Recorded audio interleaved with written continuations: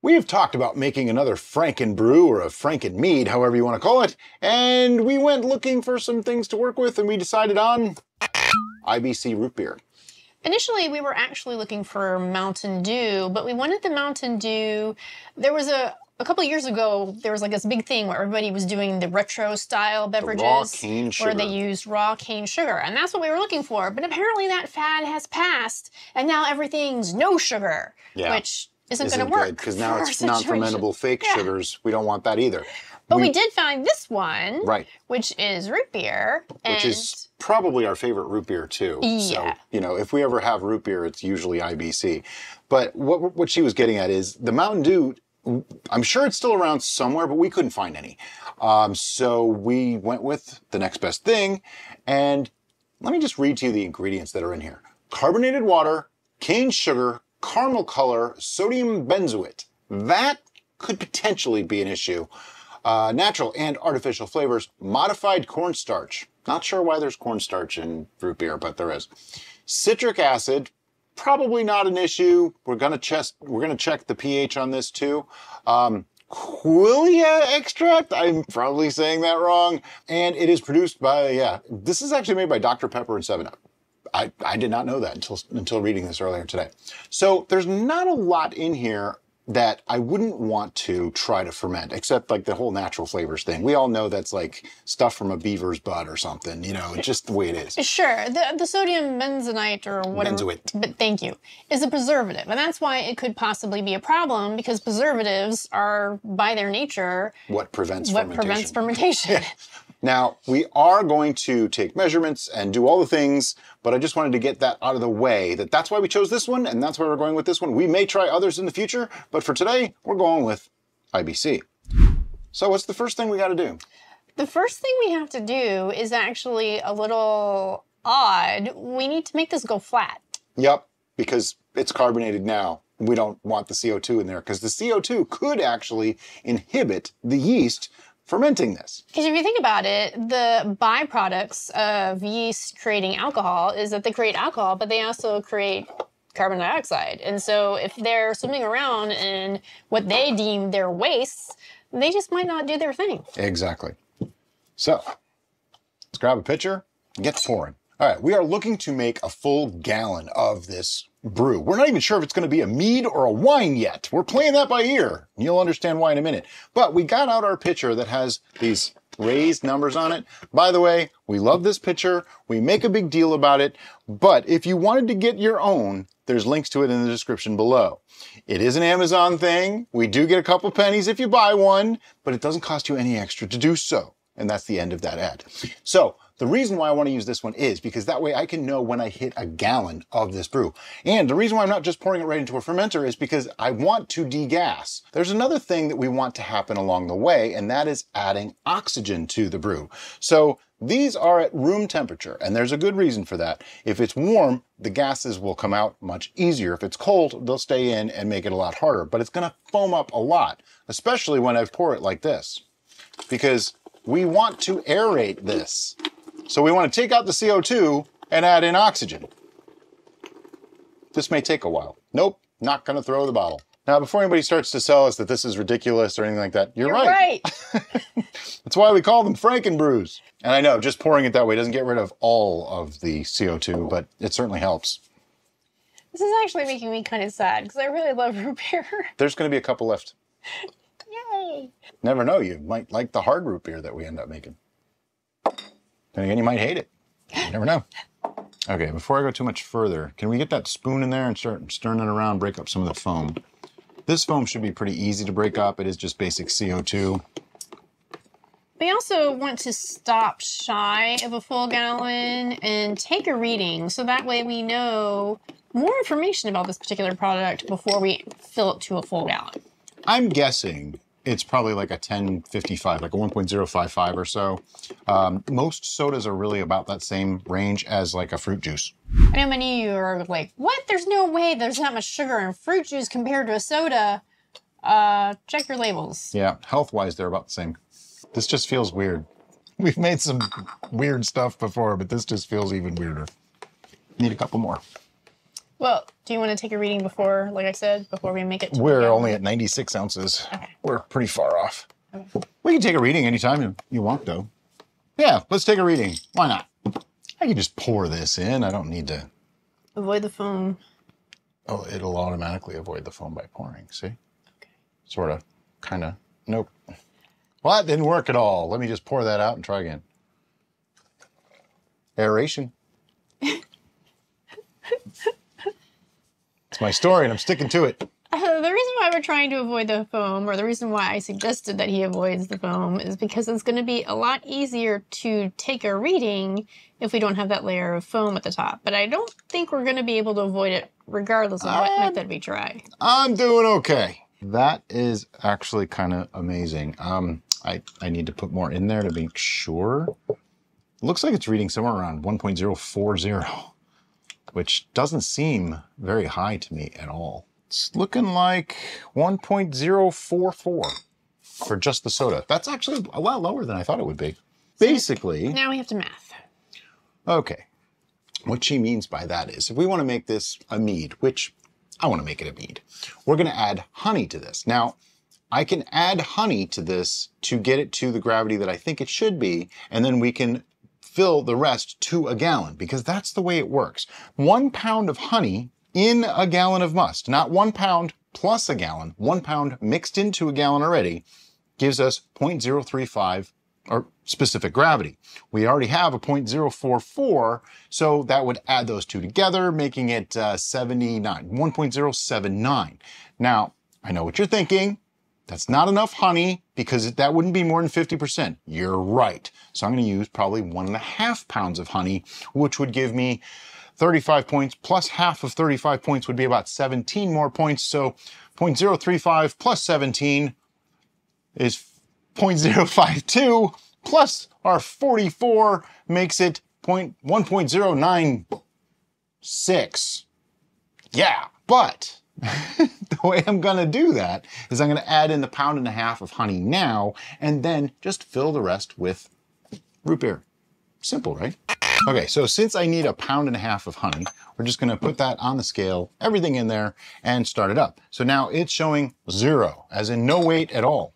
Now I'm gonna grab some of Bevy's Bees honey. Now this one happens to be, I think it's wildflower. this is wildflower honey, and I'm going to pour in a pound and a half of honey, okay? Really, really simple.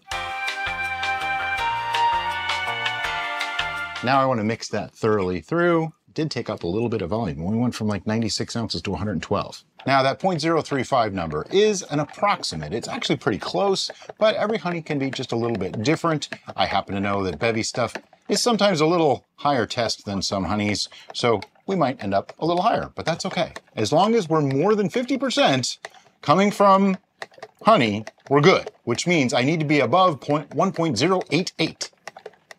Yeah, we were debating like, uh, okay, if this was a super sky high amount of sugar, then we might only need to add a little bit of sugar to get it to a reasonable number to make a good wine, and it could have been a wine.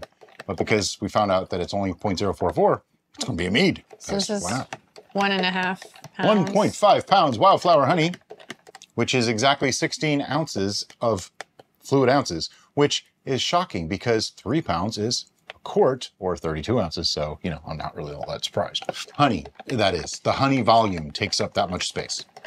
So I just want to mix this up real good. I think it's mixed fairly well. I'm being a little sloppy with it because you want some oxygen in there. It's okay. Time for more root beer. We're at just under 112 ounces. Really, it's like literally about 112. I'm gonna pour this in all so carefully. Okay. That brought us to, well, once the foam goes away, we'll really see. So that foam actually holds some of the root beer in it. A considerable amount, too. Four or five ounces worth so far. Those bubbles are made up of something. Because at this point, we need to make a decision. It's very, very close to 128 ounces, as in it's at like 124 ounces. Do I want to open a warm root beer and only use part of it and then give her a warm root beer to drink? That I can or, easily pour over ice. Or, ooh. Or do we want to just go with 124 ounces Maybe we just want to go over ice. and then she can have these cold? Right, because now we have we know how many bottles we use, so we have an, an amount of root beer that we added. Yes. Whereas we did a partial, we wouldn't really have an exact amount. We can have a Well, that's why we use this. And actually, it's going up because all those bubbles, as they're breaking, are actually giving back a little bit of volume. And I'm stirring this up really, really good to degas it again because there was some CO2 in there. I know this is kind of a long process, but um, hopefully our patience will be rewarded. All right, so how much IBC root beer did we actually end up putting in here? Four, I thought, uh, nine. Nine times, what are these, 12 ounces? Nine times 12. 108. 108 ounces. Mm-hmm.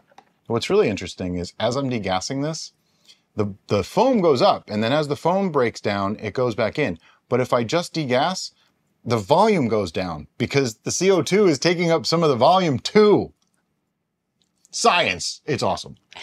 Yeah, we're down to 100, 124 ounces. I'm going to call it good at that point. All right, so We don't need this one. we don't need that one, but what we do need, I'm fairly like 100% certain, is we're going to need some yeast nutrients. Yes, we do. We're going to need some Fermaid O, and I don't think I have that ready yet. And then we need to choose a yeast. I already have a yeast in mind. I'll be back in a second to go over that with you. Okay, so I have here 10 grams of ground up Fermaid O. Now that's yeast nutrient. For those of you that don't know, it is our yeast nutrient of choice. It is the yeast nutrient that we use in nearly all of our brews. I am going to just mix this with a little bit of our must so that I don't add to the volume, but I still want to make it easier for me to mix up because sometimes this stuff just clumps and it gets nasty and it's just not fun. See, it's clumping. I ground it up with the spoon and it's it's clumping. Okay, we're well aware that 10 grams is more than the manufacturer's suggested amount. However, one of our viewers has stated that because it's Fermaid O, there's really nothing in there that's bad. It's hard to overdo it. So because we don't use some of the other types of yeast nutrient, this one we can go much higher. And he suggested something like 10 grams. We did it in another brew and it worked out pretty well, so we're gonna do it again. This needs a moment to hydrate. It's kind of getting on my nerves. If I don't, it'll never give me an accurate reading. But you know what? We can't actually take a reading right now because this is the same must, so it won't change anything. Yep. So let's do that. Remember, our target was something like 1.096. However, because we only had two ounces less or four ounces less, I bet you it's going to be 1.100, right on the nose. I'm thinking that the modified cornstarch might be to for head retention. Oh. I hadn't thought of that. I don't. I don't know that for a fact. I'm just guessing. Somebody will tell me if I'm wrong. I, I, I can always count on that in the comment section. That sounded snarky, but I didn't really mean it. what I mean to say is, someone usually actually knows, and if I say something incorrect, they correct me, mostly nicely. It's 1.094. So that's surprising. And this is an example of you can never really know exactly what the gravity of honey is going to be. It is a biological product. So in this case, 1.094. But that means we have 1.050 of honey as fermentables and 1.044 of root beer. Therefore, mead. Gotta get every drop. Okay. But That's better. yeah. Yeah. Here, I'm just gonna dump it in. See, it's goopy and gloppy. It just this is just nasty stuff to work with. And don't breathe it. I will tell you that firsthand. Don't breathe this and yeast hulls both. It smells like bad feet. And you'll taste it for like an hour afterwards. I'm gonna mix this up. I do believe it's been pretty well degassed. I don't I'm not seeing a lot of carbonation happening here anymore at all. The rough pouring and the stirring seems to be working really well. So let's um speaking of rough pouring, guess what it's time to do? You're going to pour it. I'm gonna pour it Oh, golly. because why not? I want more oxygen in there, right, right? me, there's a little bit of Star San still left. Okay, we could also put a funnel on that. that, I'm, I think I'm, I think I'm happier with that option. Okay, let me go get the funnel. All right. And you're gonna put the funnel into The red bucket. Because everything that we're working with has been sanitized, okay? That's very important. We didn't mention that before, but everything has been sanitized along the way. So with a funnel, really easy. I'm just going to pour it. We found that if you tip your funnel, you you Break the seal. break the seal. It, it's a thing. I'm well aware that I've worked really hard to get rid of all that foam and then just caused more. It's okay. I'm getting some oxygen in there and we're getting more of the CO2 out. So it's all in the fermenter. Now it's time to add a yeast. For that yeast, what have we chosen? We have chosen Lalvin EC1118. Did you write that down? I did. You did. And why did we choose this one? Because it's built to chew through pretty much anything. Lalvin EC1118 is what's known as a champagne yeast. They do this for the champagne method. And a basic synopsis of that is they take a finished wine, 14, 15% or so, they add this yeast to it because it'll still have a little bit of sugars left. And then at the end, they freeze the end of it and pop out the yeast cake so that you don't get sediment in the bottom of the bottle. It's a little bit more complicated than that, I'm sure, but that's the gist. But the point is, they put this yeast in after fermentation's already done and it's 14 or 15%. That's why this is what a lot of people use when it stalls and things like that. It's also, oh ho ho, look at that. I did not need scissors. I think I'm supposed to, but it worked. Oh, Oh, these tear? Is it, is it Lalvin? Oh, it's Red Star. Yeah. And um, Safe SO4. I have to start giving them crap too because Yeah. people have been giving me a hard time that I didn't give You Safe be an equal. opportunity offender. Yes. That's right. Okay.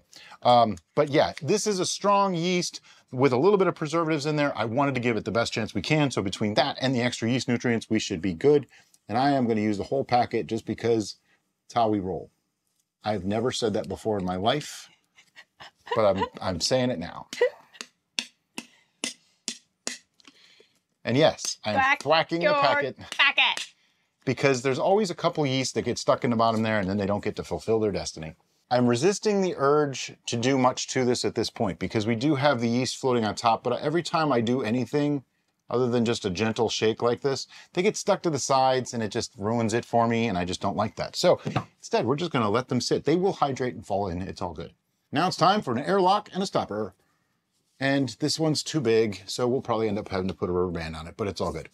Then we'll put the notes on it and then what do we do? We're gonna probably put it on a tray because we have no idea what this is gonna do. Yeah, we have no idea how happy or sad this could get. So when we say tray, it's just a small, like a cookie sheet with a lip. That way, if it gets too happy and comes out all over the place, it doesn't make a mess all over the table. And we can just, you know, keep it contained for a couple of days. If it's super, super excited, we'll add a blow-off tube. If you don't know what a blow-off tube is, it's literally just a piece of silicone tubing that would be stuffed into the stopper, comes out, goes into like a larger container, like a mason jar or something like that, filled with sanitizer, gives the gives the uh, gases a little bit larger area to come out. That's really all it's for. Makes it a little cleaner so that you don't fill this up and it shoots out because that's a bad thing.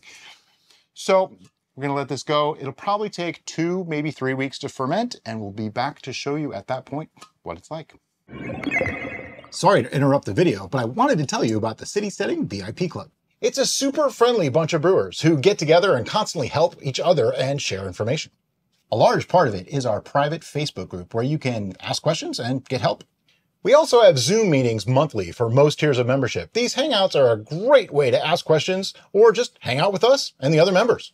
In addition, the higher tiers get their names right in our videos. So, consider becoming a VIP. Now, back to the video. It's been about two weeks. It's time to take a reading. Yeah, the uh, airlock activity slowed down. Um, so it's time to take a look. Doesn't mean it's done. Could mean it's done. We won't know. There's some stuff on the side of that fermenter called krausen. It's totally fine. It's normal. I just usually try to not get it all over everything. This is starting to clear out. I got a good feeling about this. Oh, I think it's, yeah. Yep, we used E EC 1118 for this one. Because, you know, you never know. We're using a root beer. Who knows what's in there? And uh, 1.000. Does that mean it's done? Probably. But does that mean we're going to rack it today? No. Definitely not. Because we have a rule. Take a reading, wait a week, take another reading. If they don't change, then you rack it. Very carefully. Yep. We say this in all of our videos, yet the most common question I get is, so I took a reading, it was one point whatever. Should I rack it now? Okay, Take a reading. take a second reading a week later. It's not a big deal. You're not gonna hurt anything by letting this sit a little while longer. Take it from one of our mods, Adam. He lets this stuff sit for like a year. Okay, I mean in primer, a year. He just sticks them in the back of the closet. It's like, And all that happens is they get better. That's it. That's what happens. But anyway, we took the reading. we took our notes. What's what are we gonna do with it now? We're gonna let it sit. See you in a week. It's been another week, and uh, we're just gonna do our second check on this to make sure it's really done because it was at 1.000. I'm pretty sure it's done. But it's always good to double check before you start doing anything else to it. That way you don't get nasty surprises down the road. I would say it went to like 998, but that's not enough for me to keep this going, so it's done. We're gonna rack it. All right, so we have our secondary fermenter, are full, all full of foam, straight from uh, turbos. Can you just dump that out a little bit better? See if we can get more out of it. That's as good as we're gonna get. The thing is, you don't have to worry about the foam. I just don't really like having it in there, but it's not gonna hurt you. And I'm pouring this into here so that I don't disrupt all the lees in the bottom of that. I'm, But trying- he, he is doing it carefully. I'm also leaving a little bit in the bottom. It, oh wow, smell that. Smells like root beer. It really does. That is surprisingly good. Hmm. It's very dry. I mean, it, it needs some sweetening, it needs some carbonation, it needs to be cold. But it really does taste like IBC root beer. I mean, this is also 13.5% alcohol IBC root beer right now. That's kind of nuts. Yeah.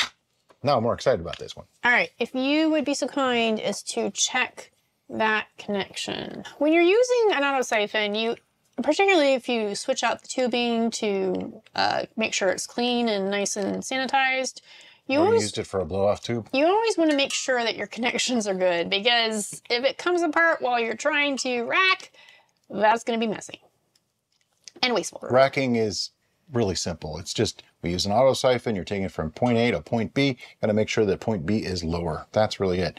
I'm only going about halfway in, and I left the cap on because there's a deep blanket of lees in the bottom there that I don't want in our secondary here. We get a lot of questions on racking, like, do I have to rack? Well, technically no. But here's why. In this particular case, we are hoping to probably carbonate this. If we left it like this and then racked it one day and tried to bottle, we might get more particulates in our final bottles than we really want to. By taking it off that lees, it lets us see what's really in there. It lets it drop out some more sediment for a little while, and then we can move on to the bottling process. Just makes a little more sense. Also, if you have any flavor adjustments after fermentation is complete, racking is a really good idea because otherwise, when you mix all those flavor adjustments into your new made brew, you're going to also be mixing all the lees into it, creating an icky, cloudy brew. That said, this is the first racking, so we want to get as much of the product out as we can, and a little bit of sediment doesn't hurt it because it's going to fall out and it's not going to get used today immediately anyway. Okay, it's racked, and as you can see, we still have a little tiny bit of headspace here. This is fine. We moved to a slightly smaller vessel. The wide mouths are a little bit smaller than the closed mouths, and we're just going to put a lid and airlock back on this. And what are we going to do now? We're Gonna let it sit. Well, first I'm going to put my label back on. Is it dry? The side is. Okay. I'll just put it there. All right. And this is going to go back in the fermentation station where it's just going to have a little bit more stuff fall out. It's going to age just a tiny bit, and we're just going to make sure it's ready for the next step. So we'll see in probably a week, maybe two weeks. So it's been like two weeks. We don't need to do another reading on this. It was Yeah. 998. It's done. Forget about it.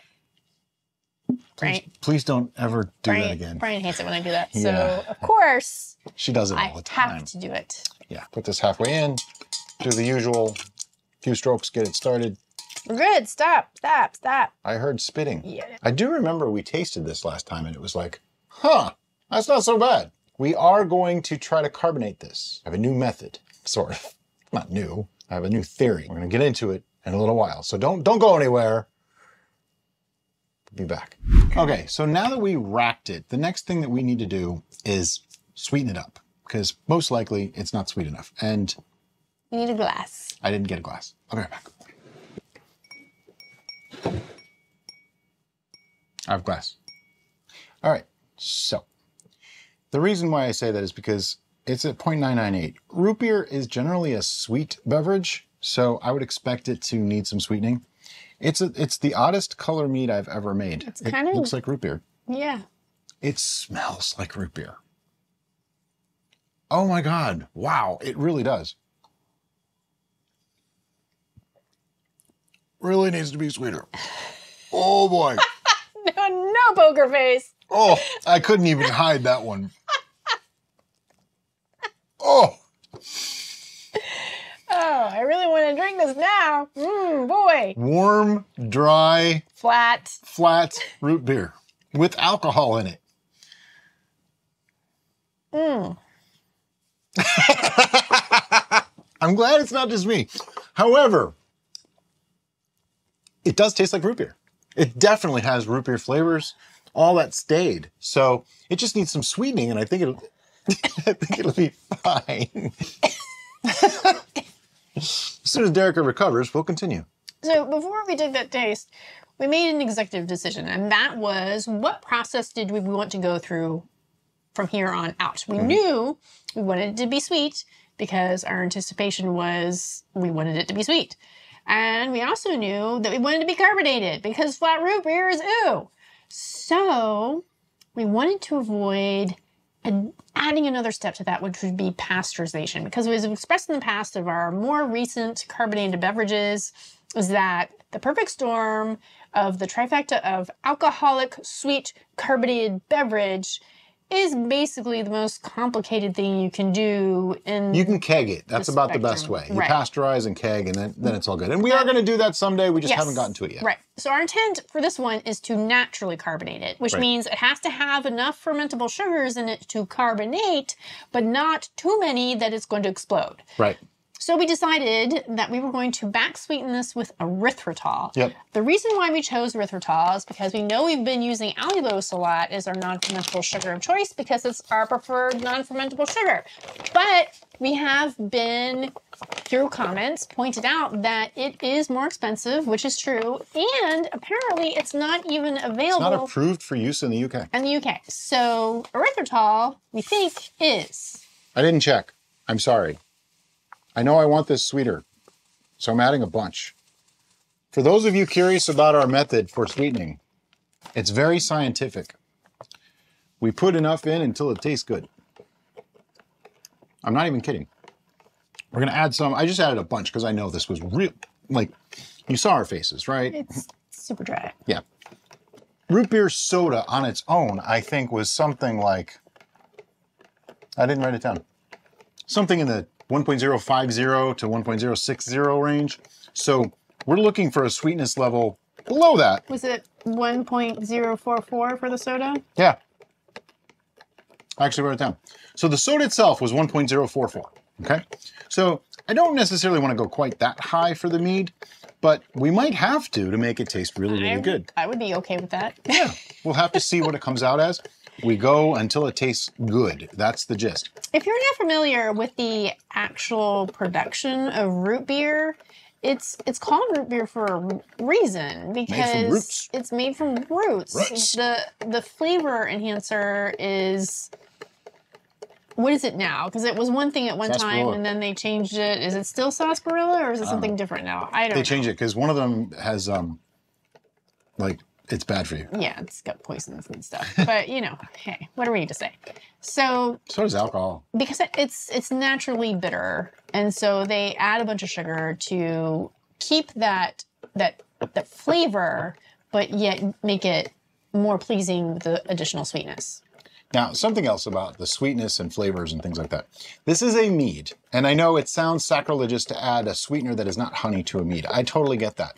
And for anyone that says that th- we're making it not mead by adding um, erythritol, you have to remember that the gravity of this was high enough that mostly honey is what was fermented. So right away, that's a mead. What you do to it after fermentation has almost no bearing on that, as long as it doesn't re-ferment. This is not going to re-ferment. Trust me. Also, technically, a mead means that over 50% Yeah. of the fermentable sugars are from So I just said. honey. So because erythritol is not fermentable, we can put in as much as we want and it's still technically a meat.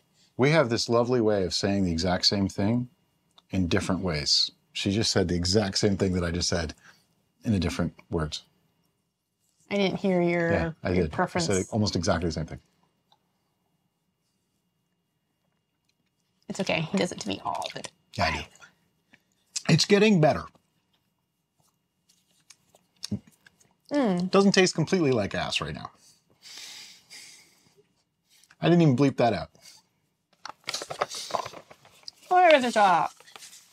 Another reason why when Brian said, hey, let's use erythritol to this, and I was totally like, okay, is because I knew that the strength of the root beer, beer essence was going to negate pretty much any weirdness that the erythritol may bring to the party. Caveat to that. We did a video where we tested sugar versus erythritol versus allulose. Allulose I chose as sugar. So that tells you how good that tastes. Tastes better than sugar. It's more sugar-like than sugar. I don't know how that's possible, but that's the thing. Erythritol had ever so slight. I mean, it was just behind allulose and sugar in flavor. It really was not not different enough to be worthy of mention, except that I did choose allulose, which makes in the back of my mind me go, I have to use allulose every time. For me, erythritol is kind of almost minty or menthol tasting. A little bit. But but it's just it's just a minute little addition. It's and this it might like, be an, it might be a good addition. A little mint added to root beer, you know. Might be good. We'll find out. Also, these things are not as sweet as sugar, so you end up using more. Like our typical, you know, getting 46 points on a pound of sugar, you need more than a pound of this to get 46 points. But it does actually show gravity, so that's good because gravity is really just, it's not exactly density, but it's sort of density. it's I don't s- density adjacent. Somebody's going to tell me what it really is. I forget all the time. The trick to doing this method, though, is you want to mix it up real good before tasting it. Otherwise, you're getting a completely off reading from your taste. Yeah, that made sense, right? it still really smells a lot like root beer. I mean, it, I think that's kind of cool. I would. Mm-hmm. Cold and carbonated, I think we're 80% there, maybe 90%. A little bit more sweetness?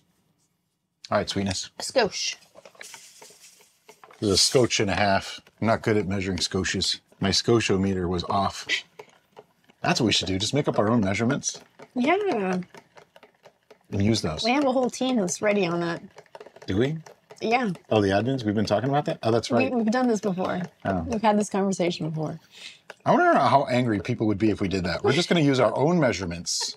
We'll give the conversions in the description of every video. We're going to use our own because people get mad that we use American units. They get mad when we use Your- metric units. yeah. It doesn't matter which units we use. Somebody gets offended. And the thing is, it's like language. You know, I grew up in an area that spoke English. There was no other languages spoken where I grew up. None. If I suddenly decided, which I did, to learn French, it was absolutely useless for me to speak French where I grew up.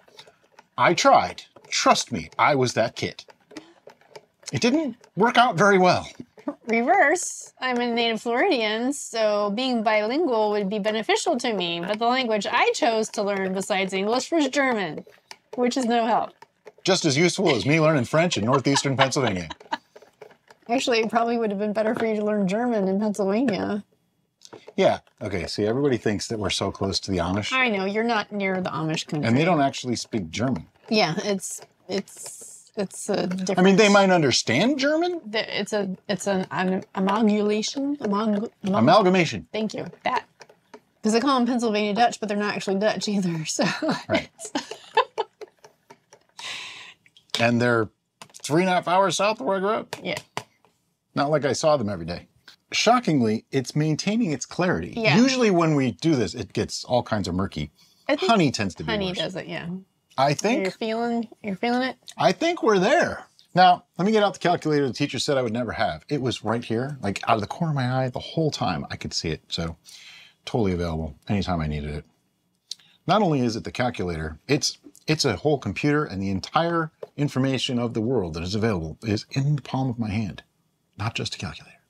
Anyway, using the formula original gravity minus final gravity times 135 equals ABV, we have 1.094 minus 0.998 gives us 96 points used up times 135, 12.96%. So this is like 13% root beer. Well, it's 100% root beer, 13% alcohol. Which makes it 87%. Where's your pen? It's I don't know. I didn't take it this time. I have it. It was it was hiding. okay. My pen with the flag. Uh, so I'm just gonna call this 13%. Yeah. Once we or I mean, it's probably a little bit lower because we added the stuff. It's fine. But we're gonna Great. actually that's true. We're gonna carbonate this. That adds 0.3 to 0.4 percent. So the little bit of loss that we have from the volume difference from the erythritol probably made up for there. Pretty close. It's 12, 13 percent. I mean, here's the thing: if you hand someone a bottle of this and you say, "Here's here's my alcoholic root beer," and they say, "What's the percentage?" and you say 12 percent. If they turn their nose up and say, "I don't drink anything less than 13," that's fine. Don't ever offer them any again. Or you can lie and say, What ABV do you like? And they say 13. You say, There you go. If they can tell the difference, send them to me. I'd like to have them on the show. Anyway, speaking of carbonation, we have adjusted our thoughts. Okay. Here's the thing we used to carbonate a lot, and it never, like, we never really had a problem. 75, 85% of the time, it worked. And we used a basic system, okay? We've since started having some issues, so we started looking into it. What's the problem? Sometimes it's because we've waited too long. Like in this case, I'm going to have to add yeast to this, or else it's not. It's probably not going to carbonate for me. Um, sometimes we didn't let it sit long enough to carbonate, which is a possibility. Other times, people have said we didn't use enough sugar for priming. Now, if you know how many, how much carbonation you want, like how many levels of carbonation you want, then you can use the online calculators and figure that out. What I did is I looked at it and I said, what's the what's the highest one? And it used like 1.8 ounces per gallon.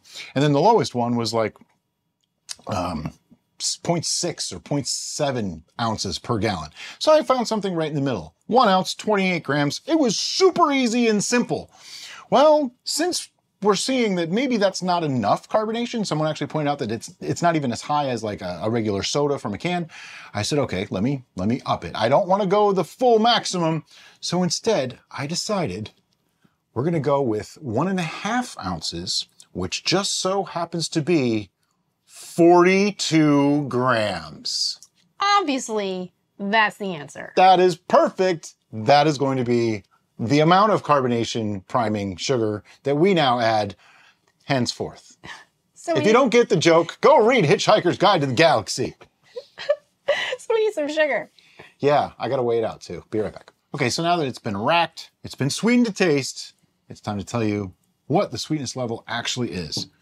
Based on my memory of it, I'm going to say 1.034. I don't know why I do this. I just do it. And if anybody thinks that I edited ahead of time and no, no. Nope. Because if I did, I would not have guessed 1.034. I would have gone with 1.042 because that's what it is. So we are two points away from what the soda was originally using erythritol. So it's going to be sweet. Okay, now we're going to prime for carbonation. And I'm going to do two things. To add some yeast because I think our yeast might be gone. We've let it sit. We've racked it a couple times. It's possible it's gone. We like to call this, well, I like to call it insurance yeast. And I'm to be using E EC 1118 because this is already 13%. So any yeast that I use needs to be able to go past that and well past that. So I'm just to take some yeast and dump it in here. Not a lot. I mean, it's like maybe a fourth of a packet. I don't want a lot. I don't want to build up a huge colony. I don't, you know, I just want it to carbonate, make some bubbles. That's all I really want. But as you can see, just just that much, you know, much. that's it. Okay. To that, I'm going to add 42 grams of white table sugar. Can you use corn sugar if you want to? Sure. They are a little bit different, not tremendously so. And um, yeah, that's it. And I'm going to add some of our must. Could you use water? Yes. If you use water, you can actually make it warm and it'll melt a little bit easier. I'm using our must because that way I'm not diluting the must at all. I'm keeping all of that 13% goodness. So that means I have to stir the bejesus out of it to get it to mix. I could microwave this. No, you don't want to do that Oh yeah, yeast. yeast. Ha! That might be bad. Now, there's a reason why I'm doing it this way rather than the old teaspoon in a bottle. First, that teaspoon may or may not be the exact right amount. I don't know. I haven't actually calculated that out. Um, but even if the teaspoon is the right amount, I dare you to take 10 teaspoons and measure them for the gram weight of them. And I dare you, if you can make it, yeah, I don't, I don't mean to say dare you. like that. Yeah, you said it twice now. Uh, Yeah, it sounds wrong. It- you're gonna it's have not working for people in the comments and. I don't think you could make it exactly the same every time. Consistency will set you free, and that's why we're doing it this way because we don't want to leave it up to guesswork. We want to make sure we have a uniform density of sugar to liquid ratio in all of our bottles, regardless of their volume size, because you want the same ratio of sugar to liquid in the different volumes. And so if you were using a bigger bottle and a smaller bottle, then you'd have to measure out different amounts of sugar because the volumes are different, right? Not just that. Can you measure a teaspoon accurately every single time? That was my point that I made that badly with the dare part. I, I, I went further. I challenge you I went beyond that. to take 10 spe- teaspoons of sugar and measure them and have them be You've exactly already, you've already said it. Yeah, you just need to let that go. I can tell yeast from sugar. Okay. Yeast are white, sugar is clear. I forgot to turn the microphone up on the and pour it in nice and careful. Okay. So now we have a lovely homogeneous liquid with sugar and erythritol. I just splashed and it landed back in the pitcher. and yeast. So, Now we bottle. by the way, for those curious, no, we are not drunk. I think we had what, like this much of a taste just for, just from this. That's it. Anyway, so now we're going to put it in bottles, and we'll see you once that's done. If you don't know how to bottle, we have a video on bottling, but it's basically the same as racking, but you're putting it into bottles. I will link it in the description below the One- video. One other thing about bottles, we are making sure to use bottles that are made to hold carbonation. If you just grab a regular old wine bottle, it's probably going to explode. And I, I'm not even exaggerating. It's going to explode. This is meant to create pressure, which forces the CO2 into the liquid. So you want a bottle that can withstand that. We are using Aldi bottles today, I think. Nope, Nope, these are beer bottles. beer Grolsch beer bottles. All right, so we're done bottling. If you notice, we have one clear bottle. Sorry about the burn of your hat. And then the rest amber bottles. And the only reason being is we we used to purchase amber bottles because we knew that they helped with a wide spectrum of different beverages and making sure that they don't Mostly beer. oxidize and cause mostly beer. Yes. But then we realized, wait, It's Really hard to bottle with those. Well, I actually use a little light. not only that, but you guys can't see what's in Yeah. here. There could be anything in There there. could be anything in there. There could be nothing in there. They could be completely empty. So we always try to have at least one clear bottle for our tasting for you, so that That's our story, and we're sticking to it. you can see. No, I actually select the bottles. So I, I do that on purpose. I didn't actually. I did not know that you did that on purpose. Yeah. I do that on purpose. All right. Um, so that way you can see what the heck we brewed. Today was IBC root beer mead. So these are going to go into the bomb shelter, which is basically just a tote from Lowe's, but it has a Heavy nice, duty thick- yeah. plastic tote with a lid. We don't expect to have any problems because we know these bottles. We've used them a few times. They're a very, very good bottle. So if it does explode, it's because we used 42 grams of yeast, and it was not the answer to everything. We didn't use 42 grams of yeast. We used 42 grams of sugar. That. it's been one of those days, people. You know. All right, so I am going to go ahead and label these in our fancy schmancy labeling system, which is a piece of tape that I write on Yep. and pack these away so that way they can carbonate. We'll be back in a few weeks once they've carbonated to give you a taste. Okie dokie, we are back, and as you can see, I have our clear bottle here to share with you so you can see what's going on. It's condensating though, because this has been chilled for like a day. And we bottled this about, well, almost exactly 20 days ago. So there you go. This has been sitting for about three weeks. It's our best chance at carbonation. So if you're ready, here we go. I'm gonna hold this close to my chest because the microphone is right here. Are you kidding me? Didn't carbonate. That is incredibly disappointing because we did the insurance yeast and everything. Yeah, but I had concerns about that going into this, and Brian used his Brian logic to convince me that it was going to be okay, but I I didn't think it was going to be okay. We're working on alternative methods for carbonating because the natural carbonation sometimes just doesn't work and it's kind of getting really annoying. It could be that the yeast we used as insurance yeast was one of the dead yeasts that we got. it could be. That's that is a possibility. Um, I also believe I suggested using a high to- tolerance yeast for carbonating. This is 13%. Yeah, but I think we did use E EC1118 to carbonate. Let me go find our notes. Okay, so we found our notes. Ta-da! Well, Derica did.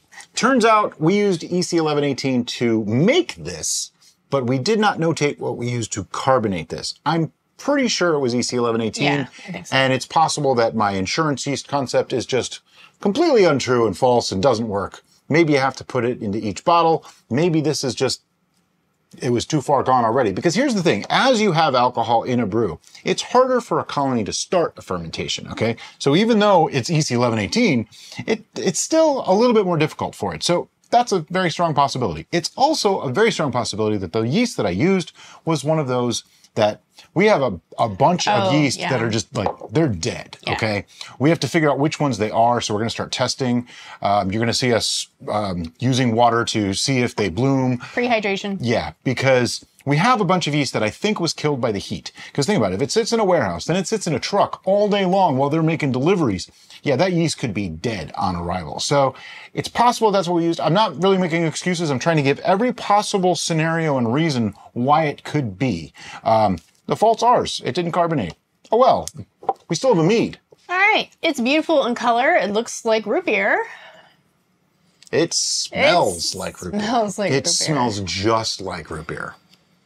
See, I had concerns of doing this as a mead rather than as a wine, aka using honey as the fermenting sugar Yeah, versus I wanted to make a mead. sugar. Yeah, Brady just wanted. I just wanted to make a mead. he was going off the rails. That's our thing.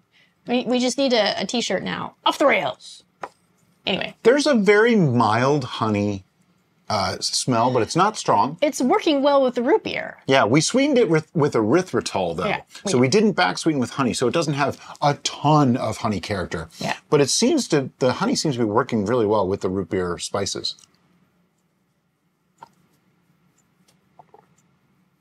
Oh my God. I don't even care that it's not carbonated anymore. I thought this was going to be a major letdown, not being carbonated, but chilled, This is awesome. and it definitely tastes like root beer plus. It's it's more than root beer. Now, I've had hard root beer before, and I didn't like it. Yeah. This does not taste like that. No, this tastes more like a. Hard soft root beer. Hard Soft hard root beer? I don't know. It's- No, I'm getting like notes of, of caramel. yeah, definitely. And, Caramel, vanilla, yep. the uh, sassafras or whatever whatever it is that makes that peculiar uh, taste is definitely present. The ethanol at 13%, I'm really not detecting it. There's like a, a peppery note, Yeah. but that might simply be from the root beer. Yeah. Um, Overall, this is really pleasant, Yeah. really nice to drink. I don't think I would enjoy it as much unchilled at room temperature. Oh no, room temperature. I This would be, be, kind of weird. yeah. But chilled, it's If it was carbonated, it'd be even better. I'll just yeah. say that. This would Absolutely. be absolutely mind-bogglingly good if it was carbonated, because you could hand this to somebody and they wouldn't know there was alcohol in it. Mm-hmm. What it does come across, it's it. If you think of like IBC root beer, and then you have this, this actually is more viscous in reality, but it tastes less so because I think some of the spices ferment and don't like some it just feels like some of the body has backed off from the IBC root beer. Now, that said, this has plenty of body. It is plenty of body in this. I think for me, Yeah. I'm getting more of a, a syrupy sensation, which counters what Brian just said. So that's why I'm saying that. I think I, I think when I'm drinking root beer, the body that I'm getting is the the carbonation. Oh, okay. Really, and this to me is almost like liqueur like in sensation particularly at the end i'm getting a nice syrupy and not not a gross syrupy Right. No, I see what you're saying. but kind of like a, a root beer liqueur I think I'm describing it wrong. What I'm talking about is the actual flavor. The flavor of root beer. Mm. It feels, it's like at 80%. percent mm-hmm. That's what I meant. And I guess that works with the viscosity to me. Mm-hmm. Um, this definitely has more viscosity than a root beer, but the flavor is lessened, so that it's a little confusing. i guess what you're talking about is the sharpness in Yeah. root beer it's definitely got less. And I think that could be from the carbonic acid, from the CO2. yeah Um, it also could also be from the proteins from the honey yeah. Um, anyway i But this is only uh two seven twenty six. July twenty sixth. Today is September nineteenth. So that's it's not even eight weeks old. This is seven weeks old. This is amazing. Yeah. and it's funny because when Brian popped it and it didn't fizz, I was just like, do we even want to show this video? I was pissed. I- we were both, Brian practically did say the words, and if he did, they're to be bleeped out. Um, I thought them heavily. And I was so disappointed, and I didn't think I was going to enjoy this at all. I, I'm not, I'm not trying to pull your chain here. No, no, we that's the one thing I hope you guys realize. We don't lie about this. If we love something, we admit it. If we don't, we admit it. Am I really disappointed that this didn't carbonate? Yeah, but not for the reasons of unenjoyment of the beverage. I'm disappointed because I'm trying to figure out what the problem is. Yeah. That's the real reason. I think it's the bad yeast because we seem to have had a bunch of stalls and Yeah. a bunch of non-carbonations with. So that's that's my story, and I'm sticking to it. Yeah. We may do a test on that. Yeah. Yeah. May have to. Um, so we need to do numbers now, right? I'd like to just enjoy this a little bit. But yeah, we do need to do numbers. So the first number that we give, we give two scores. The first score is like a repeatability. How accessible and repeatable is this for you guys at home? I have to take off like three points for the absolute zero carbonation. I I I would Zero say you need to take off more because there's so many question marks attributed to that. Someone at home could easily carbonate this where we couldn't. right. It- but that wouldn't be making this. That would be making, making something carbonated. Yeah, but the intent was to make it carbonated. so are we doing repeatability on possible fictional let's not intent think, or let's not get too far into this. I'm going to say it, they would. The intent was for this to be carbonated. So because ours didn't carbonate, I'm taking three points off right there. So it's a seven at best. Okay. And then I'm going to take a couple points off just because it's not perfect. I mean, it's good, but it's not perfect. Did we ever? But you know what? Honestly, the fermentation went beautifully oh, well Oh yeah, the fermentation went really well. started at 1.094. It went to 1.000, then 0.998. We sweetened and added priming sugar. Okay. so can you ferment IBC root beer in this fashion? Absolutely. That part I would, I would say it's issue. a six on the repeatability. But can you repeat what we actually created? I honestly don't know. Yes, they could absolutely repeat it. They just don't carbonate it. If you didn't carbonate, if you didn't prime at all, then you just made what we made. Okay. So that's a 10. That's why I'm not going there. Okay. I don't think that's right. uh, that's not what we're here for. whatever. So I'm going to say it's like a six to a seven Sure. for repeatability. I mean, it's you could you could easily do this, and if if you happen to get natural carbonation, or if you have some way of kegging or pressure carbing, you could easily make this carbonated. It's fine. And in this case, that score is almost immaterial. Mm-hmm. Okay, it just doesn't really make a lot of sense this time, but it's okay. The next is just our uh, you know how do we like it? Scale of one to ten. Easy. easy. I need more for science. Just drinking it, you know. It's very rich. It's really. Oh, you just stirred I everything up. I was going to pour myself some more, but not You anymore. want some of mine? I got the clean stuff. And this is one of the downfalls of natural carbonation is you're you can't help but have Yep. junk in the bottom. Yeah, It's- there's there's it's, it's a mini fermentation. there's yeasties and stuff fall in the bottom that just it never it never took for carbonation for whatever reason. See, this is one of those conundrum meads because it's Yeah. not typical. Yeah. It's But- such an unusual flavor set. I love me some root beer. Yep. Like I have a serious root beer crush. My question is, if someone handed you this and said, "What what do you think of this? Give me a score, one to ten, not knowing anything else about it, not knowing what it was meant to be or anything like that, how do you enjoy it as it is? Because mm. that's what this is about. As this is, not what it was meant to be, not what we think it should be. Mm-hmm. If someone didn't tell you anything and they said, "Drink this, give me a score, one to ten. If that's all you knew, where would you be? This is really hard. Based on that, I have a number. If I really take it into that perspective, it changes it a little bit for me. Because my initial impression is to go low because, oh, this didn't carbonate at all. It's not what I wanted. But that's not what the enjoyment's about. It's about do we like it or not? It's got a lot of the attributes that you particularly enjoy in a mead. Yup. Um, It's it's a method it's a metheglin. technically, because Yeah. it's herbs and spices that make root beer. Yeah. Yep. Absolutely. And it's on the sweet side. We did sweeten this quite a bit. Yeah. To one We point may have actually over sweetened this. I think it's a little too It, sweet. it does feel. Oh, you know why? The priming sugar. Oh, The and then it priming didn't sugar ferment. didn't so- ferment, so it's actually even sweeter than what we had made. I was thinking about that. I'm like, this tastes really sweet. I don't see us doing it. Yeah, but yeah, what- that extra 42 grams of priming sugar makes a difference. That's a tenth of a pound, so that's like another four or five points of sugar added to it. Yeah, there you go. There you go. All right, I got a number. Are you ready? I'm ready. One, two, three, 7.5. 7.5. Oh, wow. Why are we doing this now? I don't know. All of a sudden.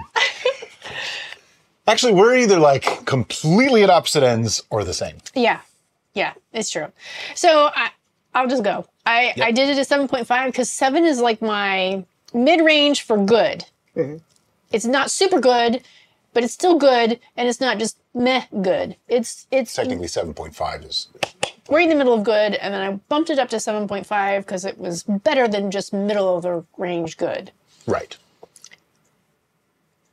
On my scale, a five is something that I would drink if I saw it on the shelf, but I wouldn't necessarily think to drink it. A 10 is something that I would say, I want that. A 7.5 falls squarely in the middle. There might be a day that I go, you know what? I think I want some of that root beer mead, but I wouldn't necessarily think of it most times. I enjoy this. I think it's very good. I think it's a, you can definitely drink too much of this though. Oh yeah, the No, no, no, alcohol. that's not what I mean. What I that was my phone. One sec. Pockets in my shorts are not very big, and my phone falls out.